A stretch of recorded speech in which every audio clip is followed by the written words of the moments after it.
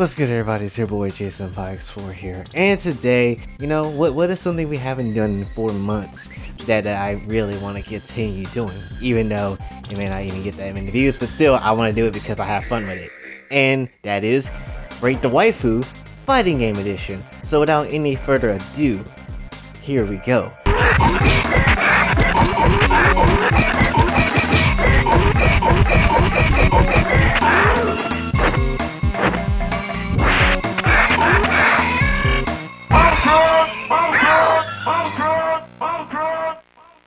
The first character, I had to just throw this on this list because there's no damn way I could do it.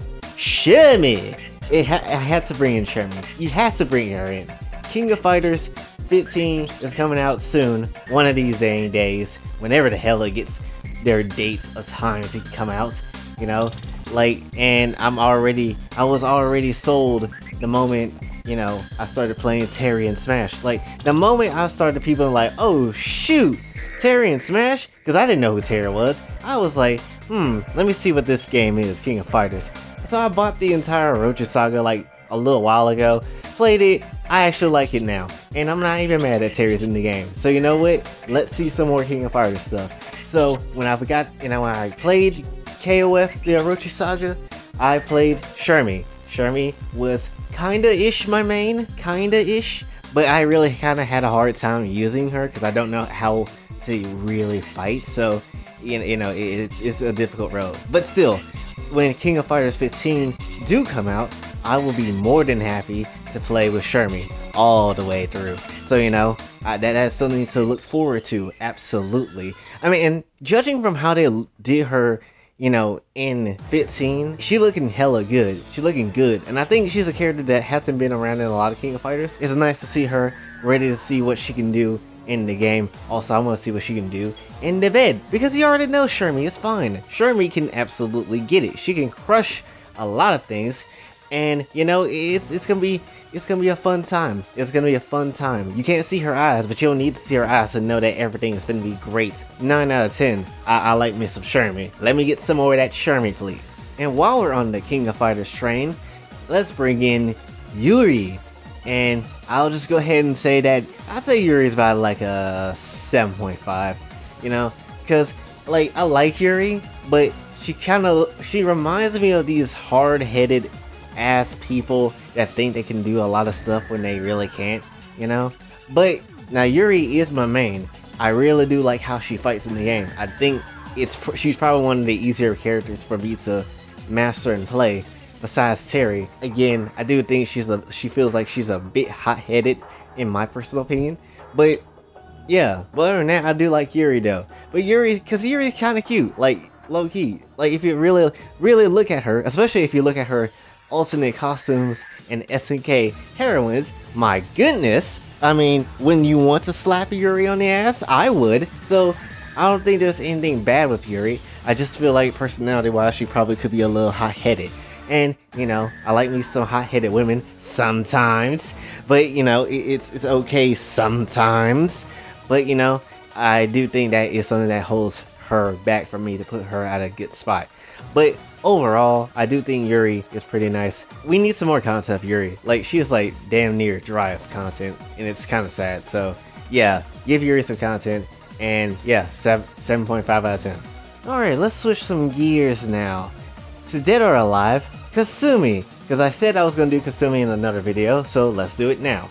And Kasumi, I'd have to say 9 out of 10. Here's my reason why. Because while Kasumi is the main girl, while she is the first character that you play and whatever in the series, yeah, that's like the first girl that you get to meet and all that. I ain't gonna lie, I like Ayane better. And it honestly, I just do. Like, no, you're wrong. I think Kasumi is great. Like, if I would, if I had a chance to smash Kasumi, yes, I'm taking the chance. No question. Like, I'll be happy with Kasumi if she was my wife. Like, 100%. However, I just feel like Ayane is just a little bit better. Maybe it's just because she has the purple hair. Maybe it's because she has the red eyes. I don't know. But I'm just saying, Kasumi is good. Like, there's no downside to Kasumi. But I just think personally, Ayane is better. And that's kind of weird coming from someone that likes Alpha 152 a lot. So, but anyway, overall, Kasumi is about a 9. I'll switch it 9.5 out of 10. I'll, I'll give her a 9.5 out of 10. Kasumi's not bad. It's just that I think she is, you know, a little bit less than Ayane. Just a little bit. Not too much, but just a little bit. And yeah, you know what? I'll just throw this on this list too. Marie Rose. Let, us just get let's just get out of the way. 10 out of 10. Like let, let's get her out of the way. Because yeah, while she be while she might be a little bit bratty and whatever in the game, while she might be a little trash in the game, let's be watching for honest. We already know why she gets a 10 out of 10. We already know why. There is so much content on Mary on Marie. There is so much content on her to the point that it's actually ridiculous. Now, I haven't actually played her in any in the games that I had of DOA, but I ain't gonna lie, there is a lot of content on her and Honoka.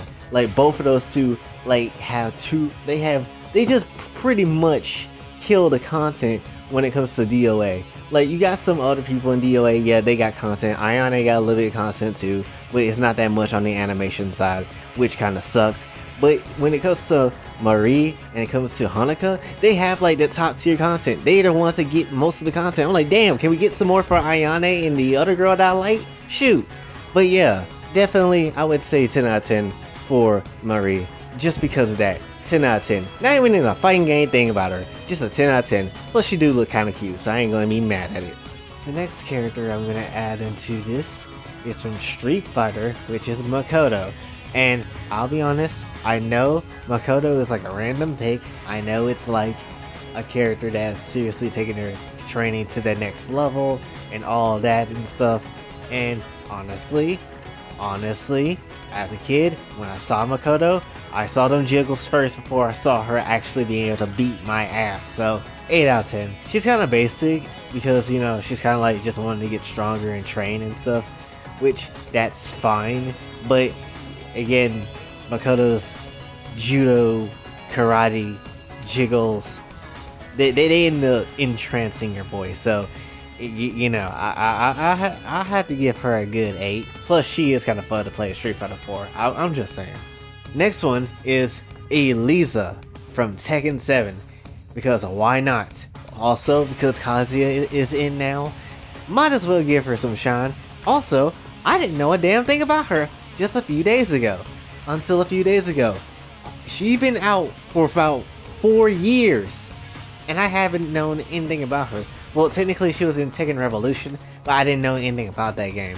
So, and seeing her in this one is just like, dang, where the hell have I been for the last four years? Why did nobody tell me that she even existed? So, yeah, when I seen Eliza, absolutely thought she was beautiful. I passed by her during the DLC screen and never actually just picked her up and trained until a few days ago. And I ain't gonna lie, I was like, you know what? Damn, she is fine. I didn't think I didn't think someone with short hair and long hair at the same time was gonna be, you know, really good, but she is. So basically, honestly, I'm gonna have to give her a 10. Look, there's plenty of things in play here. Not just the fact that she's kind of cute when she sleeps, and I think she has narc she's narcoleptic or something that causes her to go to sleep a lot but also one good and cool inf information.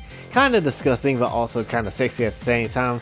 Type of information I found out is basically anytime she drinks blood, because she's a vampire, she, her boobs will grow bigger. Anytime, they, the, the blood will just fill up to her boobs. That is disgusting, but at the same time, that is also very sexy, and I would like to see. So, yeah, you know what? That that's that is uh, already just 10 out of 10 hopefully we could see more of her in the next second game or wherever her next appearance could be. I would, I would think if Capcom would ever stop tripping and stop and start making Darkstalkers again, because I really want to get into that too. But if they were to start making Darkstalkers again, I think Eliza will be a perfect fit for that world. And that is all the characters for this list. And I know a few y'all are gonna be like, what? How does Baiken not make the list? How does I-No not make the list? Giovanna? Are you insane? Look, I know, a lot of people like Guilty Gear. Me, personally, I don't see the appeal to Guilty Gear. I don't understand why people do like Guilty Gear. Like, I understand it's a long time running fighting game, but personally, I just don't see it. Now, I never played Guilty Gear, I don't know anything about it, but I will put them in the next video when we do Fighting Games Rate the Waifu Part 3. Part 4? I don't know, I'm losing count. But anyway, so unless you're gonna cash at me some PSN money so I can go buy Guilty Gear on you know PS4, I'll be more than happy to you know play Guilty Gear, give you my thoughts and opinions about it, and then you know just and even make an extra video about how I feel about Guilty Gear Strive. If you want to do that, Cash App is down below if you want to. But again, I just don't personally see the appeal of Guilty Gear. That that's just me. Not saying that's a bad game. I just personally don't see it. So hopefully you did enjoy. If you did, be sure to like, share, subscribe, hit the bell notification on your way out. Also follow me on Twitter. And I also have a new TikTok because the old one got banned. You pretty much could guess why.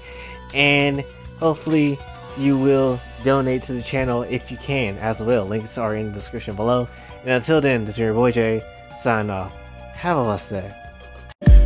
Say my name as if you got a fucking clue. Always caught up in the moment, not condoning what I do. I've been messing with my chemistry to find the better me. Putting thoughts up on the page in hopes that you could get to me. Been this way since legit, my brain couldn't quit. Running from my issues, roll the pain in a spliff, fade away every hit. Nobody needed me too afraid to commit.